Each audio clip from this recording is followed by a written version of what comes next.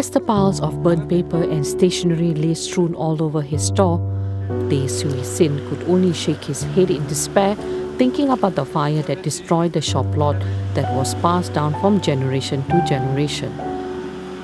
We are holding up our father's grand grandfather's legacy. It's okay. You know why? Uncle very easily the tear come out. Too sentimental. The 68 year old resident estimated his losses at 80,000 ringgit, not including the shop lot. Antiques that were priceless to him, including a weighing machine and a cash register, were also burnt. Oh, paper, paper. Then the safe. Luckily, the safe still intact. After somebody to take it away. His shop was one of the eight lots and 53 houses destroyed in the fire at Kampong Baru China on Friday night. Retired lorry driver 60-year-old G. Shankar said he panicked when he saw the fire raging upon opening his back door. Terus merebak dekat tak boleh ambil, dah panik dah nak ambil barang keluar dah. Apa nak buat nasib macam tu? Jatuh dekat ni, lepas tu panik dah. Jatuh dalam bilik mandi. Tarik bini keluar.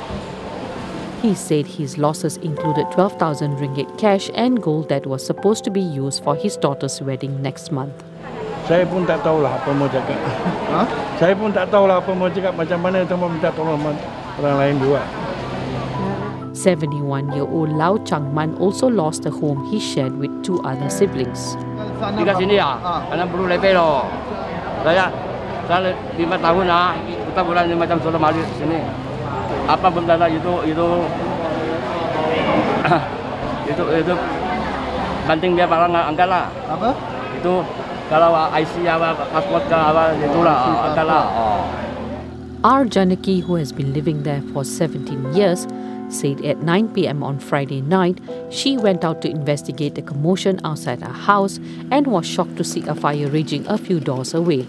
Lima minit baru saya sampai. Sudah terus dorong dua. Habis. Oh, lima minit. Lima minit sudah sampai.